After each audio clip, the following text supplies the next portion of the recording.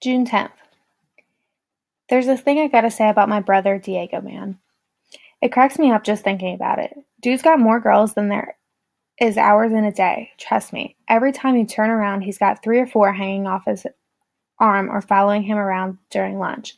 And I'm not talking about no ugly chicks either. The finest ones in school, man. Don't matter what kind. He's got white girls, black girls, Mexican girls, Asian girls, whatever you could think of.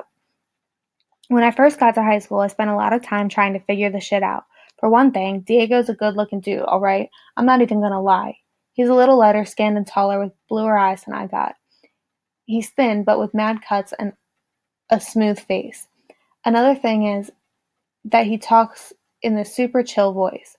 One of his girls, Jamil, told me when Diego talks to women, it's like he's singing some love jam in their ear, even when he's just mentioning about something normal, like getting Mexican food at the spot or some random movie that just came out. But it's more than just Diego's voice, I think. It's also how he always knows exactly what to say. Like, imagine some hyenas acting all mad because Diego forgot it was her birthday or he didn't call her all weekend, even though he swore to God he would.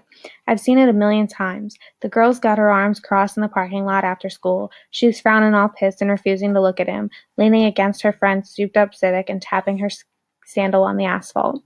You'd probably think my bro was done, right? Well, you don't know Diego. He'll just smile calm, lean in on her all chill, and whisper something smooth in her ear.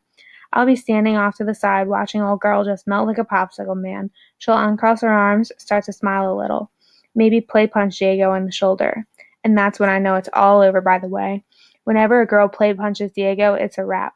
Soon they'll be laughing and hugging on each other, and just before she hops in her girl's Civic, she'll say, So you promise you're going to meet me at Maria's later, right? Don't play me this time, Diego. And Diego will hold his hands out, all innocent, and say, Course I'm going to meet you there. You my girl, ain't you? And her face will beam, and she'll blow Diego a kiss before slamming shut her door, and her and her girl will drive off waving. Diego, man.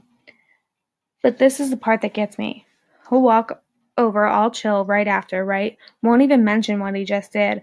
He'll talk about ball instead, or ask me what I think about moms only sleeping in the living room couch these days, or he'll see if I want to go fishing in the levee later. The dude won't even mention how in less than a minute's time he just got the finest white girl in Stockton to go from crossing her arms and frowning to blowing him dumbass kisses. Diego, man, my big bro. When I was a kid, I used to try to think how he did it, you know? What'd he say? How'd he say it? I used to copy his clothes style and how he did his hair.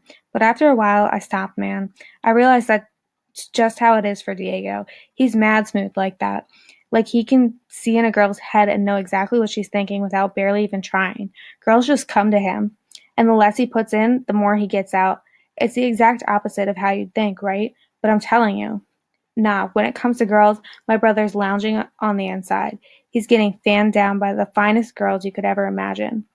While the rest of us are sitting around outside in the hot Stockton sun, sweating our balls off.